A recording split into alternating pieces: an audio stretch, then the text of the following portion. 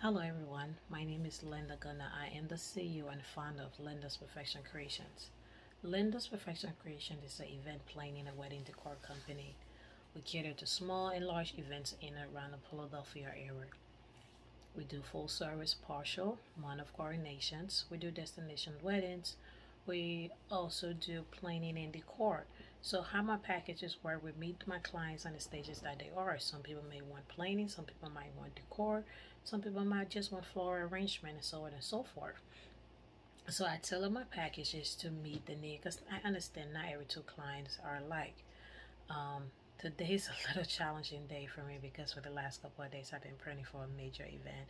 Um, so I know I'm a little late getting the videos to you guys, but it just you know as I stated before, it's wedding season, so it's it's it's always hectic for me. So this is when I really feel like this challenge is get taken a toll because I'm like, oh my god, I have to do these videos.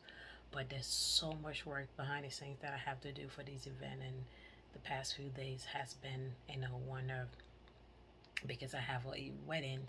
I literally have five events in the space of two weeks.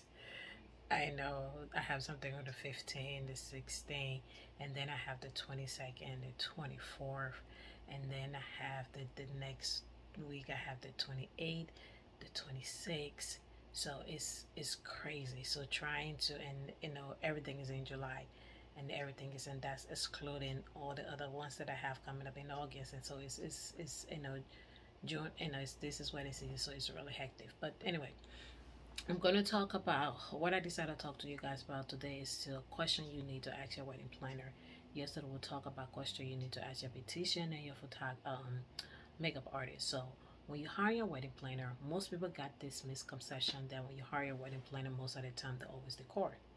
That's not necessarily the true. Some wedding planner own or event planner, I should say, own it, coordinate and plan events.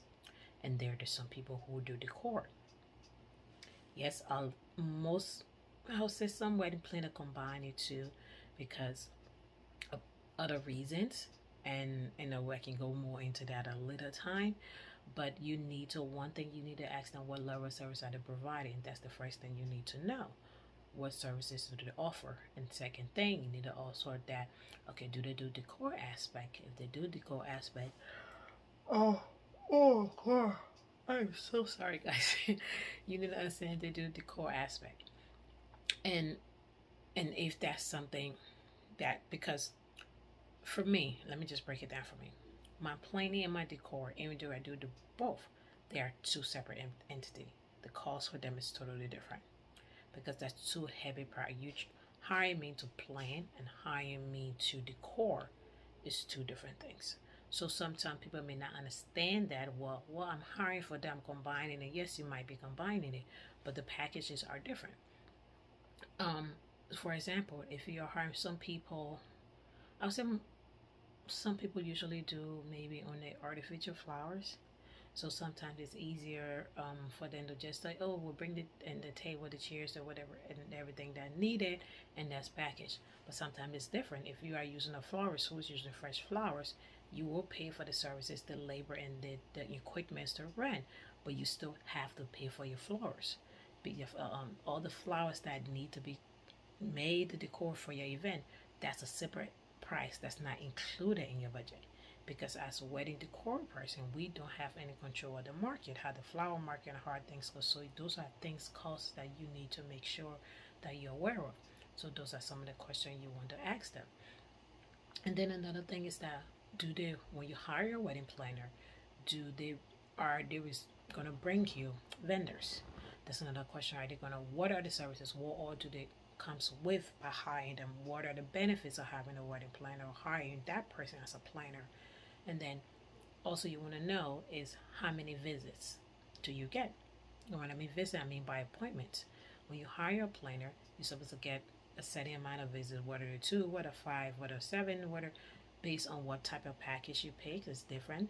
These visits one where you get to meet with them one-on-one, -on -one, to sit there and go over detail as per your plan or if you're going to any appointments maybe your dress fittings or maybe to see your venue appointment you get access to the planner to be able to to go where you do this visit. Since they have the experience they have the knowledge your food tasting they can be the best person to be alongside with you when you are going to major appointments like these because they know all the tricks and tools that can get you the things that you need so you need to ask them how many appointments or how many visits do i get you know after saying and then another question you want to ask is that okay are there any additional costs for travel costs if i have to if you have to travel a certain distance how many miles do you have to cover travel that's included in the cost or that's not included in the cost.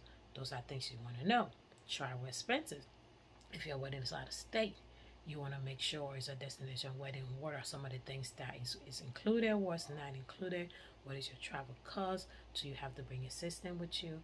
You also need to ask on the day of coordination, which is the day of the wedding, how many staff are they bringing with them? Is it just going to be them? Is it going to be multiple people? Those are things you need to know. And then also in regards to your vendor. Are they the one that finding all the vendors for you? And then you just pay them to hire those vendors or I did like a liaison? For me, I'm more for liaison. So if you want or let's say a photographer I have preferred vendors that I work with. I'm not associated with anybody. I do vend them out to make sure they are right. I'm not getting paid. I'm not getting any personal choices whether you use them or you don't use them. But it's my job to give you the best person that's within your budget. And once I find a person, I will be there introduce you to that person. If you like for that person, I will then they will go take over. You'll talk about your contracts, you'll talk about your details, and then you know but it's I help you find this, but I don't bring it along. Say, okay, well, you just pay me for every services, and then I pay. I personally won't do that, but everybody's different because you want to meet all these professionals that this person is giving you. What if they bring somebody to do something that you don't know? Now, there's certain things that it's easier for the wedding planner to bring, so or decor person, I should say. Like for example, up lightings and maybe dancing a cloud machine. Those are little things that you really don't need to see this person or you really don't. But if it's something like, you know, your DJ, your photographer, your caterer, those are people you want to meet in person. So I would strongly recommend you do that. And then one of the most important questions you need to ask them that can it work within your budget?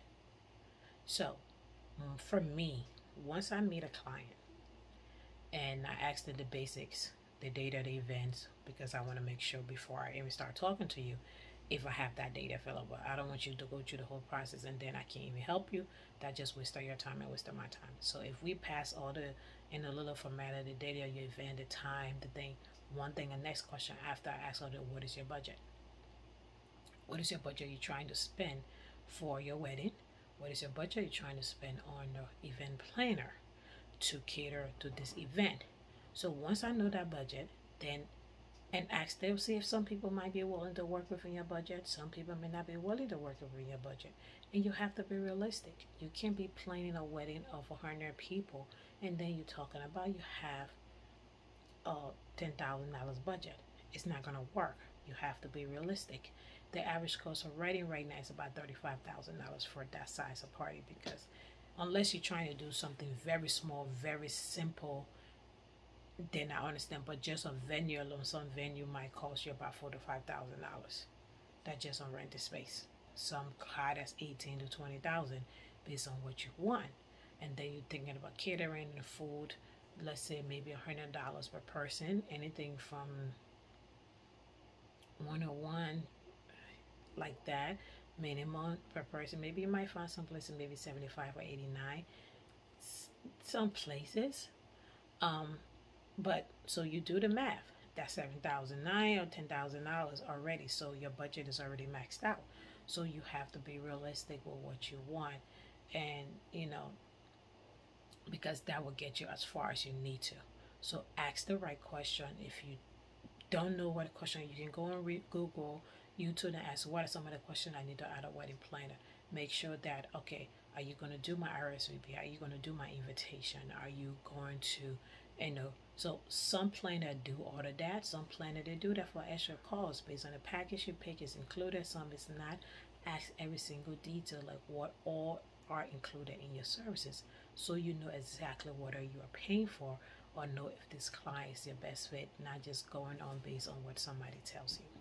But that's all for tonight. Thank you so much for watching. Once again, my name is Lynda Gunner.